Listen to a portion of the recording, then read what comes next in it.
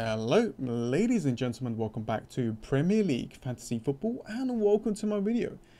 In today's video, I'm going to be looking at my latest draft. Now, I know we've still got two more weeks left, but I am just having a lot of fun changing my players around and looking at different strategies. In today's video, I want to look at my team, look at a transfer planner. I also want to look at a Fantasy Football Hub website to look at some player stats. Now, I want to get to that point where I'm pretty happy with the team. I have my other options ready and waiting, just in case if there are some injuries, if there's players coming back from a holiday really late, and or you know if they don't perform in the preseason and so on. You know, we've still got the transfer window open, so a lot of things can happen that might affect my players. But I just want to get to that point where I'm happy with the team, I'm settled down with it.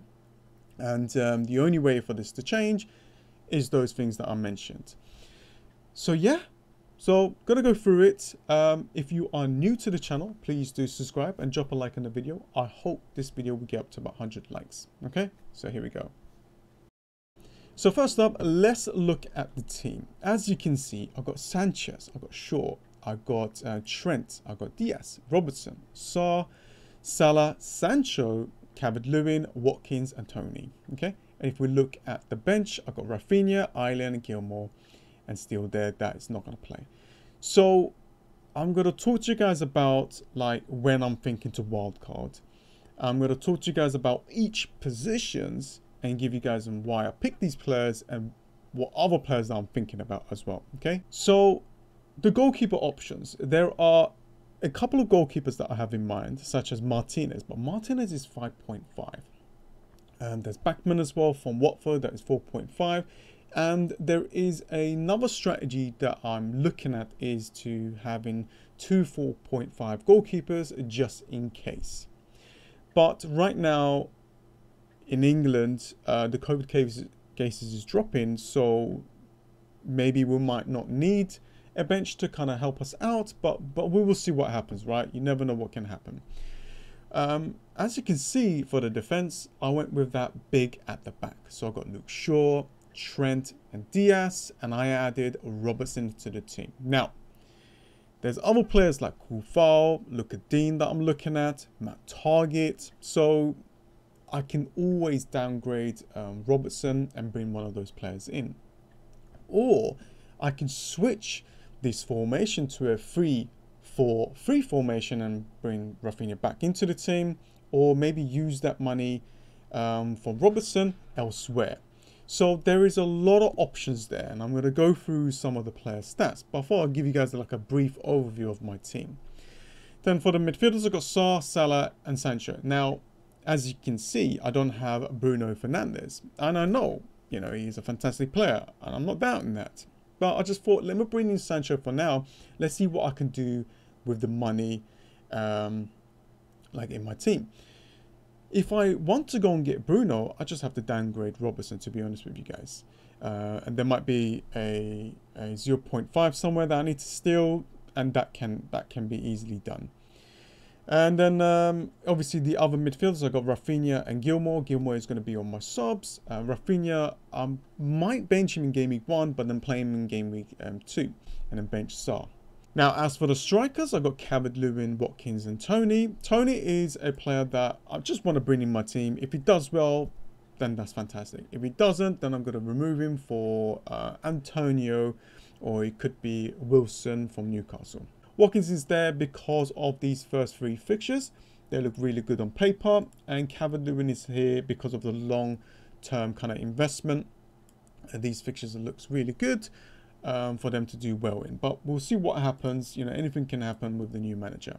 So that is a quick, like an overview of the team. Um, and a lot of things can happen and I could still change this around. You know, I can go and get Antonio and uh, Wilson if I wanted to. So there is a lot of things that I can do and I'm, I'm open for that. You know, I'm not someone that who would just be like, no, I want him and that is it forever. Um, I will like keep a mind open about different options. So the strategy that I am thinking about is wildcarding after game week three. Now, I already mentioned this on my previous video. You know, wildcarding after game week three is the international break. Plus, it's the deadline for the transfer window. So we will know who moved where and we can make those adjustments for game week four and onwards. Okay. So that is my first kind of um, thoughts about the wildcard. So the early wildcard is actually really, really strong at the moment. Um, but for me, I want to look at my team for the first three fixtures. And then if something happens, okay, cool. If I need like a couple of players, then I will wildcard. I basically, you know, what I'm trying to say is I don't want to get to that point where I'm forcing myself to wildcard early. Last year, I forced myself to make a transfer, and that is not what I want to do this time out. I want to plan properly. Last time out, you know, last season, I started using the transfer planner um, around January, and that helped me out a lot. So from 500k, I went around the 50k mark at the end. So go and check out livefpl.net. It is a fantastic website to go and check your live rank and, and so on. There's so many things in there.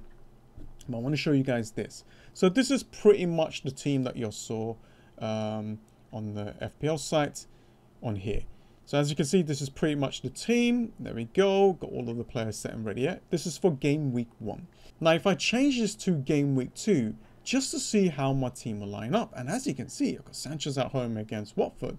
I've got Shaw away against um, Southampton. I've got two Liverpool defence with Trent and Robertson against Burnley at home. I've got Dias at home against Norwich. Obviously Salah there as my captain against Burnley. Sancho away against um, Southampton. Raphinha at home against Everton. That's why I don't have Lucas Digne right now. Uh, Calvert-Lewin against uh, Leeds United away. Watkins at home against Newcastle. And Toney away against Crystal Palace. This team looks really good on paper for game week two. So here, I can actually bank the transfer. You know, I've got players like Ayling and Sarr to kind of help me out, just in case if there's some injuries, uh, if there's players that are not going to play, to kind of help me out to kind of bank this transfer.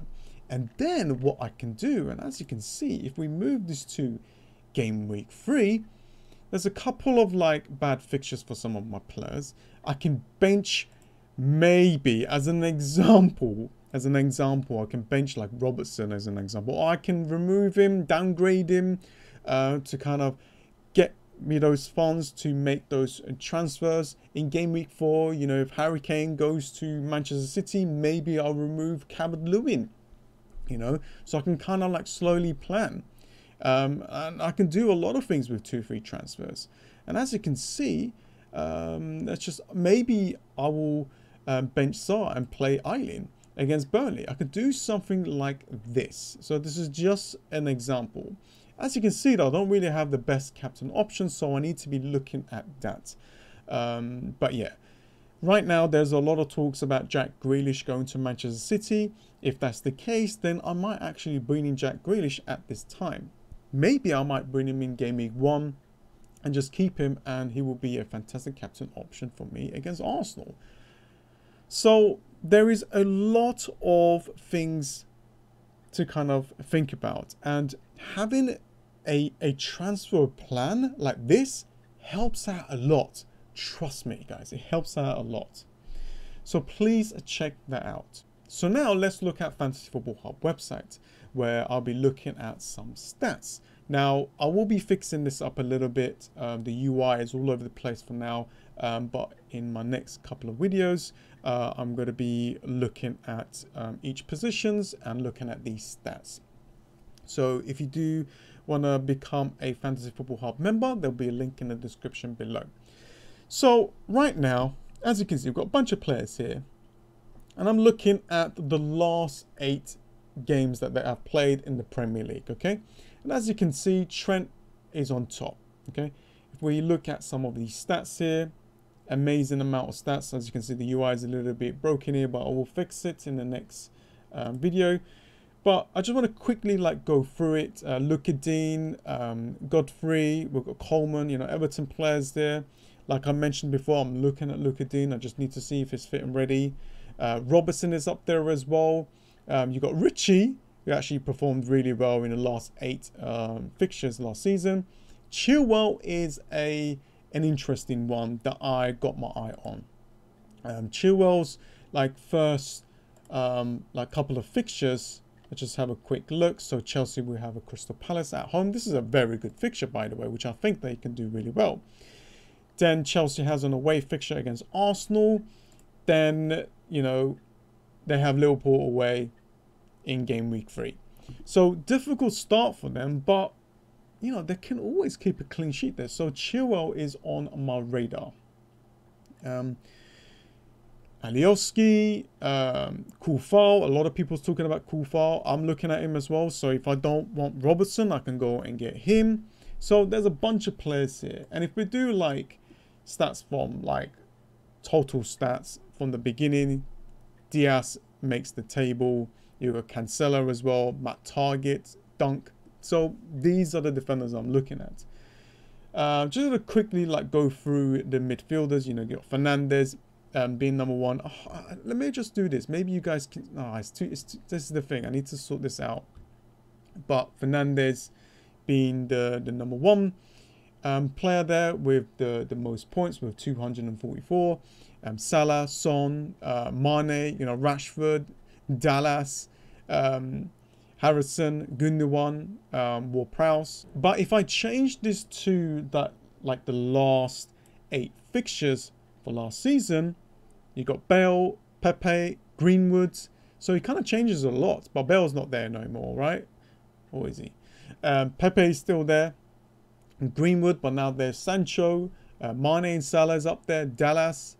Uh, so a lot of players here that we have to look at. So I'm going to go through this on my next video. So I'll fix this all up. But I thought I'll let you guys know, um, you know, what I'm going to be doing in the next um, coming videos. Uh, if we look at the last eight uh, fixtures that the strikers has played in the Premier League, um, you know, Iheanacho was uh, like on fire. Uh, Chris Wood that I had in my team, remember that um, that hat trick? Uh, Watkins played really well. Benteke. So Cavani, a lot of people has Cavani in their team. So I will go through this more in detail, fix things up. But I just wanted to show you guys a few players that I have I have in mind that I would like to bring into my team. So yeah, that was pretty much it. I will fix up the UI for the Fantasy Football Hub website. Um, I want to talk to you guys about uh, like the goalkeepers and defenders in one video. Then I want to look at the midfielders. I want to look at the strikers. I want to look at how well they did in the last eight fixtures in the last season. I want to look at what they might do for this, like first three or I don't know, eight fixtures for the new season, and kind of like come up with some uh, players that we might want in our teams. Okay. Anyways, guys, thank you so much for joining in. If you're new to the channel, please do subscribe and drop a like on the video. Thank you so much, guys, and I'll see you guys next time. See ya.